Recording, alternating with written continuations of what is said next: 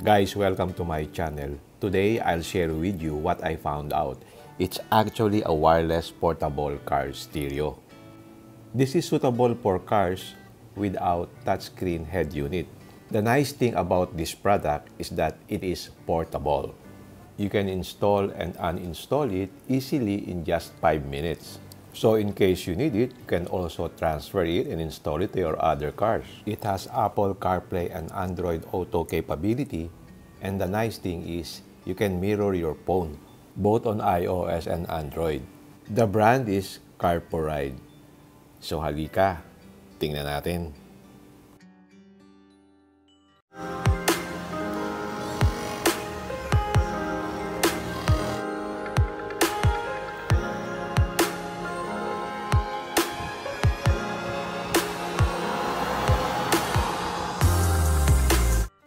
When you order their product from their website, it comes in a box. The size of the box is 10 inches by 7 inches and the thickness is about uh, 5 inches. So if you want to order, please see the link below. Now let's do the unboxing and see what's inside the box.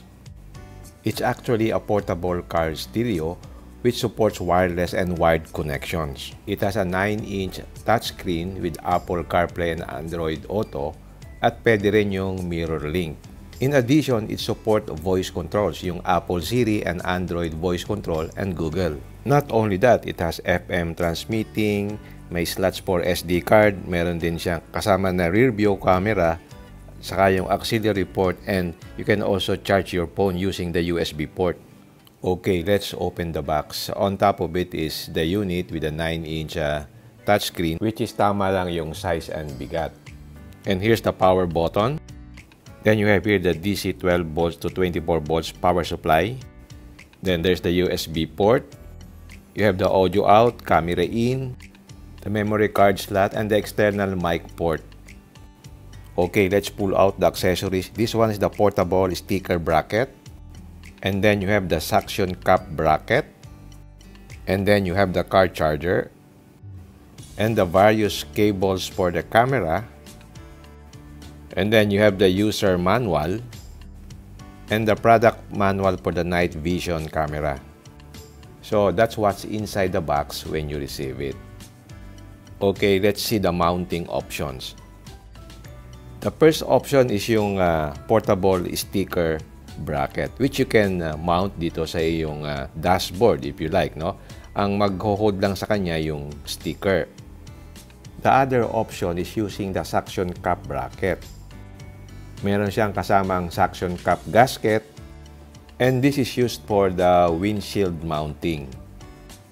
So you can position this easily kasi it's adjustable depending on your requirements.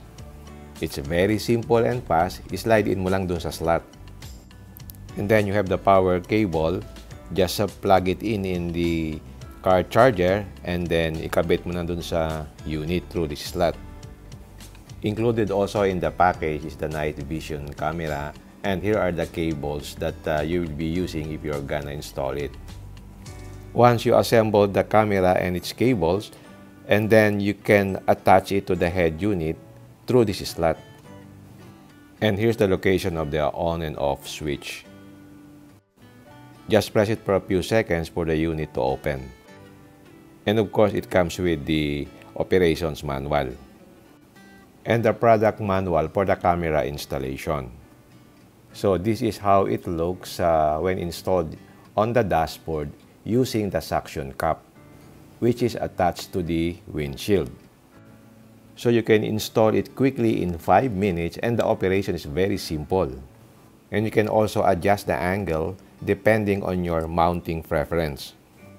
Once you have decided on the mounting area, you can take out the data cable and put it in the slot in the unit and then uh, insert the other end to the car cigarette lighter. And that will power the portable car stereo. So it's very simple to adjust. You have the adjustable arm, you have a very strong suction cup, you have more stable installation, better heat resistance, and no need to disassemble, saving on labor cost. And this is another option of mounting using the sticker provided. No? So you can mount the unit on the dashboard using the sticker using this bracket. So the same procedure with the suction option. The only difference here is you'll be using the sticker to mount it on top of your dashboard. But this setup is more like a permanent one than the suction option kasi once you have the sticker in place, it will be uh, difficult to remove. So you have to decide on where to put it. Okay, let's now test how it operates. Meron na siyang power supply. Here you can see the Apple CarPlay button. You have the Android Auto button. You have the mirror link for the Apple and Android and the equalizer button. And then you have the buttons for Bluetooth, the USB for the card, for the FM, and the settings button. Meron din siyang uh, screen adjustment sa brightness. You can adjust it manually. And meron din siyang automatic adjust na screen brightness according to ambient brightness. Ang kagandahan nito, simple lang yung mga features na nilagay niya. Yun lang what you need. So you can remove it from the mounting area, pwede mong hawakan, so pwede mo siyang gamitin as an external device. So pwede kang manood ng movies, pwede ka ring mag-play ng songs using yung USB slot. Now I connected my phone using the data cable para mag-Apple CarPlay. Bale, it supports Apple mobile phone CarPlay function and wireless link. It also supports the auto function of the Android phones. What I noticed is meron siyang high definition display so I can actually watch videos, listen to songs using USB and memory card. So pag nakakabit na yung phone mo sa Apple CarPlay at saka Android Auto, you can use the latest map for navigation. And the nice thing is, you can mirror your phone using wired and wireless connection. So when I tried the mirror link, ito yung maganda kasi we're fan of YouTube, di ba? So I can now watch YouTube while on the road. Kasi right now, uh, it's difficult to mirror link, di ba? So with this device, you can now mirror your phone. So when you're traveling, hindi ka na mabobore. And for safety reasons, dapat pag nakatigil lang or yung companion mo nanonood. So very nice, di ba? Ito yung hinahanap ko kasi with my uh, current head unit, I cannot do mirroring. And I cannot watch YouTube kahit nakapark ako. This will now give me flexibility when I need it. So my wife and kids can use it. They can now actually watch movies or videos and then they can detach it from the mounting area and they can watch on their own. This is the procedure on wireless mirroring. Para gumana yung wireless mirror link, you have to turn off yung Bluetooth saka yung Wi-Fi doon sa iPhone settings mo at the same time. Tapos mag-connect tayo doon sa Wi-Fi nitong car stereo. Okay, i-on natin yung Wi-Fi. So, naghahanap siya.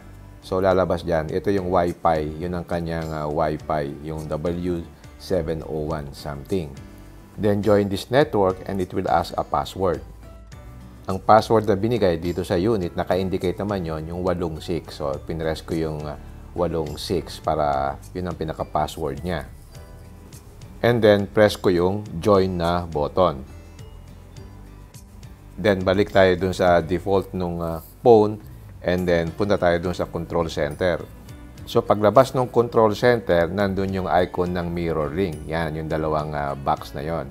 Pipress mo ngayon yan, yun na, naka-screen mirroring ka na. Yan, naka-wireless mirror link na yung phone mo. Naka-mirror na yung phone mo dun sa car stereo. Yan, yung uh, portrait. And then pagka inano mo, pwede mong gawin yan, landscape. Yan, naka-mirror na siya.